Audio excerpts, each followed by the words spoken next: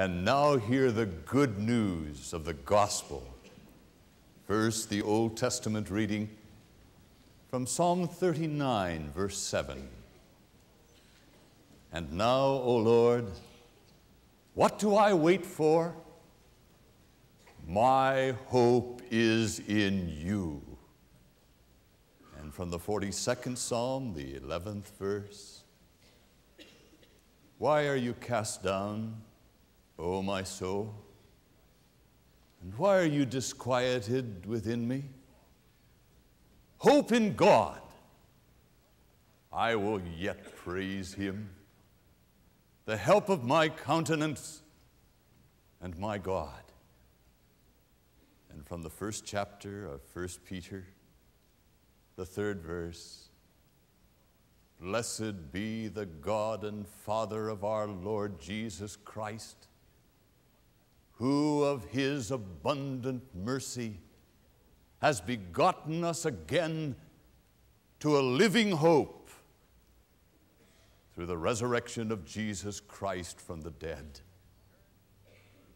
to an inheritance incorruptible and undefiled, and that does not fade away, kept in heaven for you. Let us pray. Almighty, eternal God of hope, invade our hopelessness and despair with your own spirit and power. Through Jesus Christ our Lord. Amen. The title of this message is Always There is Hope. This uh, past week, that title was placed on the sign outside of the church. And in the midst of a high wind, the P was pulled off. And so for days, uh, uh, the only thing that the people had who passed by the church was always there is ho. I'm glad that uh, someone didn't climb up there and put uh, another one and make the title always there is ho ho. but it does uh, help me to distinguish between authentic hope and the facsimiles of hope in our time. You remember that wonderful story of the two cleaning ladies who were cleaning a British museum that had many beautiful paintings. Uh, Watts's painting entitled Hope was among them. And they stood uh, leaning on their mop handles, looking at this picture, wondering why it was called Hope. It was the picture of a sphere, and a woman was seated on the sphere with a blindfold over her face. Her head was bowed. She had a lyre in her hand, you know, an ancient stringed instrument all of the strings were broken except one. The background is all black, and there's only one star in the sky. And one of the cleaning ladies said, Blimey, I wonder why she called it hope. And the other said, Well, I guess she's hoping that she won't fall off. I have a friend who uh, ends most meetings, especially when the topic has been discouraging he says, Well, always there's hope. It's kind of a retort as a last resort. Hope is much more than that. Hope isn't wishing or yearning or questing. Hope is much more profound than that. Victor Hugo said, Hope is the word that's written across every man's forehead. I don't believe that. I believe that hope is a very special gift. We're not naturally born with it, we don't carry it. Basically, most of us are pessimists. By the way, Sir Lipton said, I am the world's greatest optimist. I am always fit and fiddle. I always look for the best. I've gone to Dr. Optimist, and he has given me a prescription, and his fees are cheap.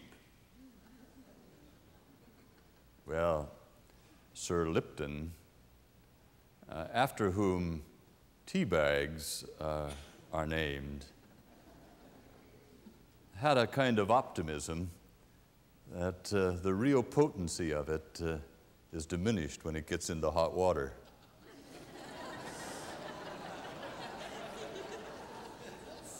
Real hope is so much more than just optimism, more than thinking good thoughts.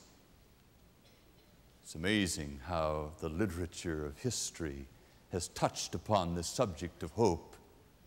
But the great biblical word has found its way into the poetry and stories without representing the true meaning of hope. I want to talk about authentic hope in the most difficult period I've known in American history in many a year. I talked to a man on the phone the other day and he said, On Black Monday, in three hours, I lost one third of my worth. I've talked to couples who have planned their whole lives around being able to retire because of their investments, and now all of their plans for the future have been washed down the drain. And they say to me, Where's hope now, Lloyd? A woman was told that uh, she just had a few months to live. How can I make it through death? And how can I be sure that I'm going to live forever? Is there any hope? You know, if you asked for one word to describe what I envision to be my life, I would use the word listener. I believe that my job is 90% listening and 10% speaking. And if I've listened well during the 90%, I know that in the 10% I can speak with authority and clarity. And when I asked you to write down your needs, I felt the pulse beat of your heart. And as I talk to people around the nation, and as I receive hundreds and hundreds of letters every day, the one word that describes what's going on inside of people today is the word hopeless. Why is that? How can it be People have believed in Christ, been a part of a church, and yet in the most difficult, painful periods of life when sickness or difficulty or brokenness or financial setback or reverses come, suddenly hope is up for grabs. Oh, hope is not that frail. Hope is tough comes right out of the scriptures. In the Old Testament, it's the anticipation of the coming of the Messiah, hope himself.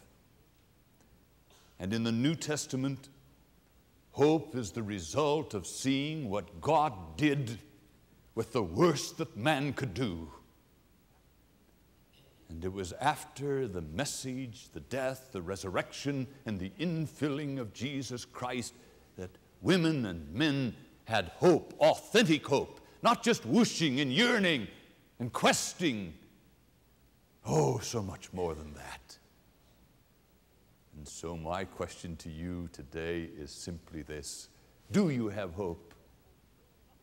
Is it a hope that nothing and no one can destroy? And can you communicate that hope to other people?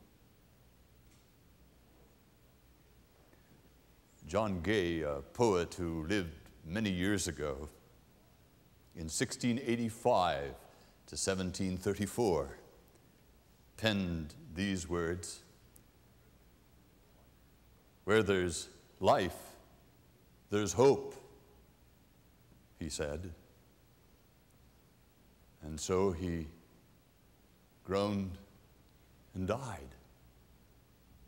What a hopeless thing. I want to say just the opposite.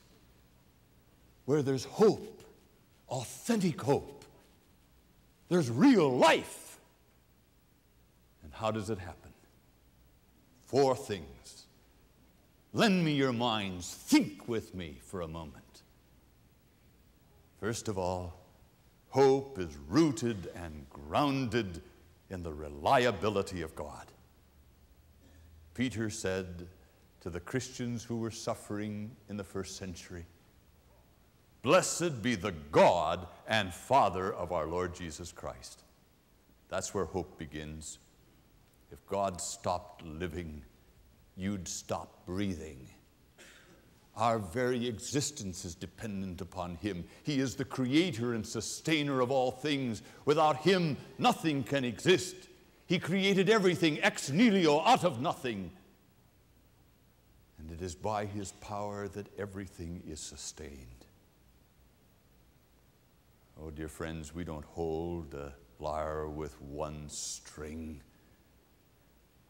We can fiddle a great tune with all strings wide open to proclaim the glory of the Lord because He's alive and He is working His purposes out as year succeeds to year. Do you believe that? That's the foundation of hope. Secondly, blessed be the God and Father of our Lord Jesus Christ.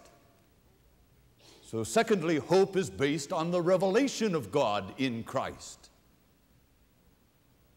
We really know him to be our Father through the one who taught us to pray, Our Father. The one whose constant prayer was, Father, I have come to do your will. Your will be done and not my will. And in Jesus Christ, we see the Son of God, but also the Son of Man. And we see the perfect union of God and man together, perfectly unified in the revelation of the nature of God and the clarification of our potential. In theological terms, it's called the hypostatic union, the perfect blend. And that is exactly what it means to experience hope. Because in the Son of Man, fully divine, fully human, God revealed his nature, but he also battled with Satan and defeated the power of death upon the cross. And when he rose from the dead, he opened eternity to you and to me. But that would be enough, wouldn't it? Just to look back at a great Christ who lived and died for us, who rose from the dead to defeat the power of death, sitting somewhere at the aloof hand of God ruling in some far off heaven. What does that do when you lose all your savings? What does that do when you stand beside the coffin of your loved one? What does that do when your health breaks down? What does that do when life falls apart? Oh, don't stop there. Move on to the third point. Not only the reliability of God, not only the revelation of His heart in Jesus Christ, but also in the potential that you and I can be reborn. Blessed be the God and Father of our Lord Jesus Christ, who, according to, in proportion with, his abundant mercy, and mercy is grace in action. What does that mean? According to his abundant mercy, he has begotten us again to a living hope. Beloved friends, I want you to know that there is no experience of real hope apart from the experience of being born again. Oh, it's had high press in America, so much so that we've lost its meaning. Kierkegaard said, In a nation where everyone says he's a Christian, no one's a Christian. What he meant was, when we become so familiar with the terms, we lose the reality. There are people here and across this nation who have been proclaiming their belief in Christ, giving to the church, working in committees, who are hopeless today. How about you?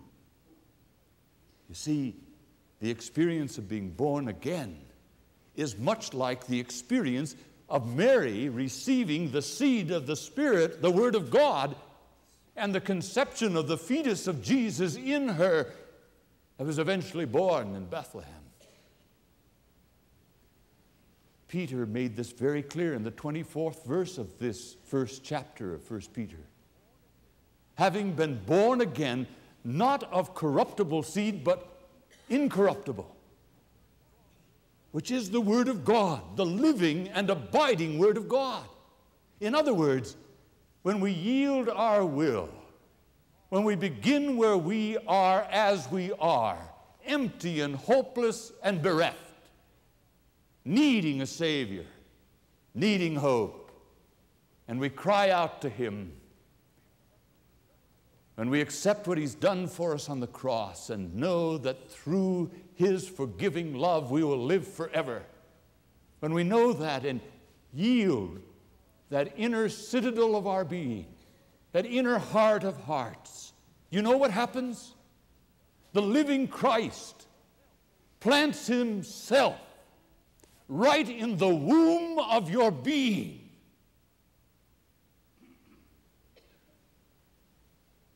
Begins to grow. And he captures the chemicals of your brain. He regenerates your character. He wipes away those memories of the hurt and failure of the past. He opens the future. He helps you to love as He loves. He becomes his continuing incarnation in you. That's what it means to be born again. To start all over again. It means to humble yourself and say, Lord, I can't make it alone. Come live in me. How silently, how silently the wondrous gift is given and God imparts to human hearts the blessing of his heaven. No ear may hear his coming, but in this world of sin, where meek souls will receive him, the dear Christ enters in.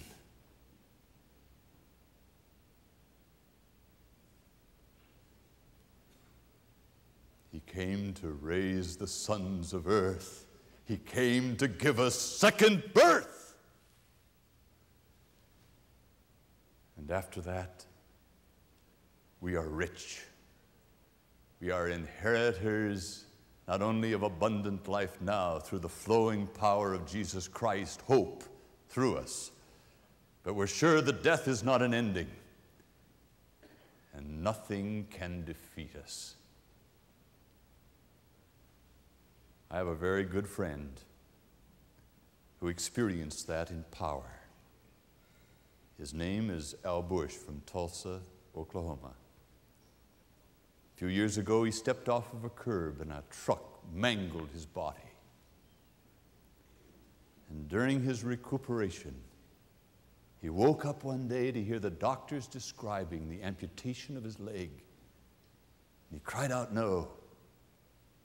And they saved his leg. And I remember playing golf with Al in Tulsa, Oklahoma, and seeing above his locker the cast that he had worn on his body.